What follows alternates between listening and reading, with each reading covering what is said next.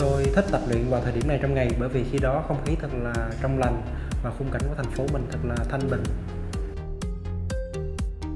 Như một nhiếp ảnh gia về phong cảnh thì tôi muốn du lịch khắp mọi nơi và chiêm ngưỡng những cái cảnh đẹp tiếp xúc những cái nền văn hóa khác nhau và cùng gợi cảm hứng cho mọi người. Mỗi khi uh, tham gia một cuộc thi hoặc là có một thử thách thì tôi luôn nghĩ là mình cần phải chiến thắng chính bản thân mình môn chạy bộ trong giải Ironman là một trong những khoảnh khắc mà Thanh cảm thấy khá là khó khi mà chiến đấu với tinh thần của bản thân. Với khoảng cách là 21 cây số thì à, đây cũng là một khoảng cách khá là dài à, đòi hỏi phải có sức bền cũng như là bạn phải chịu được cái uh, nhiệt độ uh, lên đến 40 độ ở Đà Nẵng vào đầu tháng 5. Đôi khi Thanh đã suýt uh, cảm thấy chán nản và đi bộ